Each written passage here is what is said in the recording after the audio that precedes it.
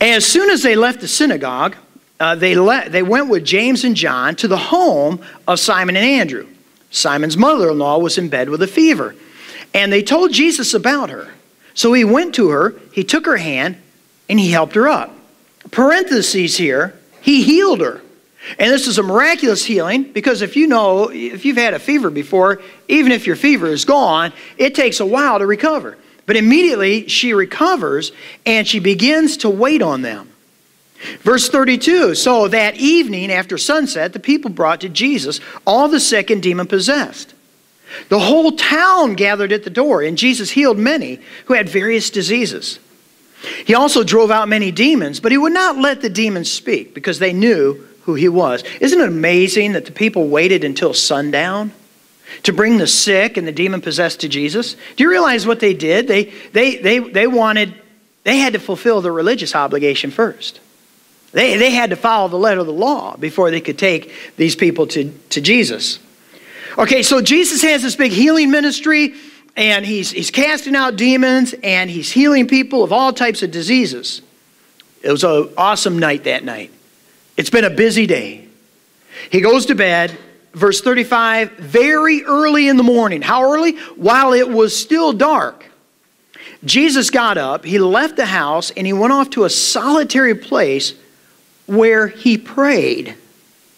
Simon and his companions went to look for him, and when they found him, they exclaimed, and by the way, another parenthesis, you might say they kind of scolded him.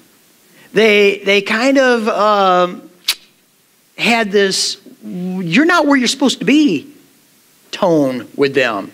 Say, Tom, how'd you know their tone? I'm, I'm pretty much guessing it from what is said next. Because it says, they exclaimed. You know, you put a, put a, uh, you know, a little emphasis there that, that they're, they're getting a little testy with Jesus. Hey, everyone's looking for you. In other words, you're not where you were supposed to be, Jesus. And Jesus replied, Let us go somewhere else to the nearby villages so I can preach there also. That is why I have come. So he traveled throughout Galilee, preaching in their synagogues and driving out demons the master's plan and what the master's plan is all about. Right here in these two events, which took place over about probably 12 hours or a little bit more period of time, we've got Jesus going to Simon's house. His mother in law is there. What, what does that imply, Jay, if Simon's got a mother in law? If Simon's got a mother in law, he also has a wife. I, I, I, knew you were right on top of it. That's why I asked you, see? So, so, so we can assume Simon's married. He's got a mother in law, right? And she's sick. And he loves his mother in law very much, like I love my mother in law. And he wanted to see her get healed.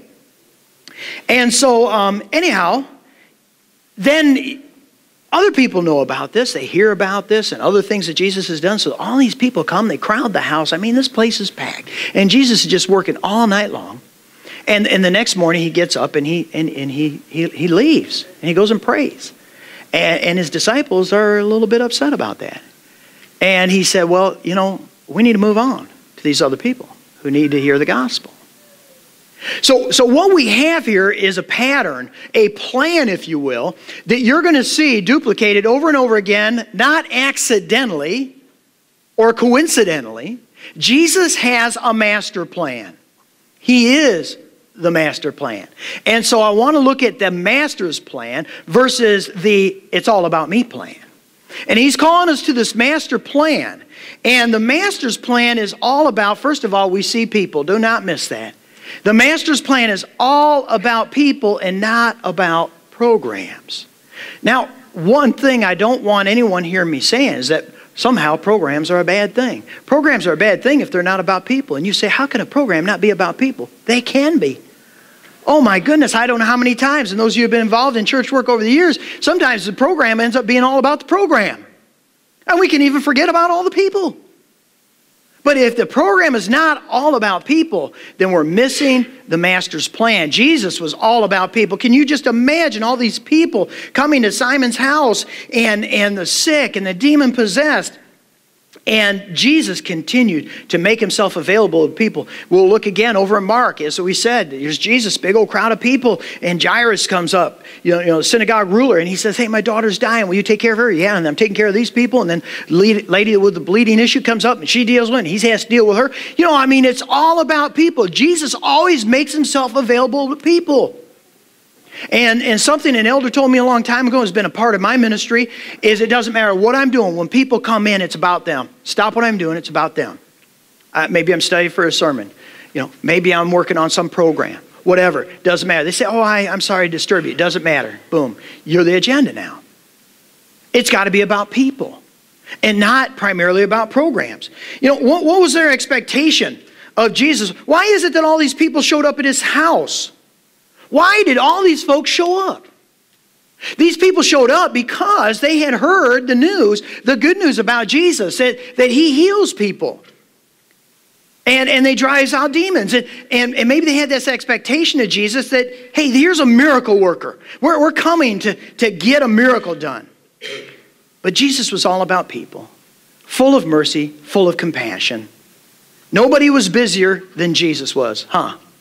Nobody is busier but he always made time for their immediate pressing needs. Okay, you got that? I want to make sure we catch that. He, whether it was a physical healing, whatever their demon possessed, he's going to deal with those immediate needs. Lady at the well, water, dealing with the water. He's always dealing with their immediate needs, but he does not end there. I feel like that's a tragic place oftentimes in, in, in many churches, is that we feel like we we got the water, you know, we, we got them food, we got them healed, we got the demon out of them, you know. Now we're to their ultimate need.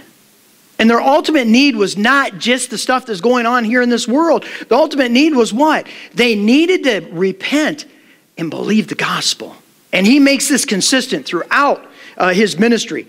Whenever he deals with someone who's physically sick, ultimately he gets them what they need.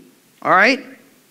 And so when we get to the point here where he's praying early in the morning, you know, why didn't he stay there?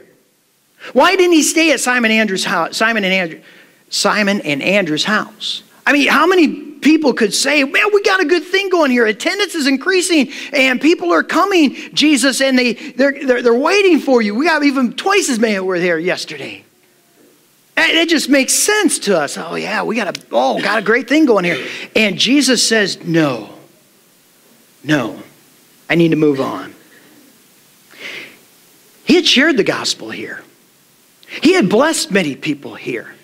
Now he's counting on the people that are there. They've heard the good news. They have the message. Let them now minister to those other people. We got to go to folks who have not heard it yet. And so it's about people, but it's about people's ultimate need in testifying to the truth, to the good news so that people can change. It's all about the gospel. Today, if you hear anything, it's all about the gospel. The master's plan is it's all about the gospel. The programs are not wrong if they're ultimately about people changing, repenting, and believing in the gospel.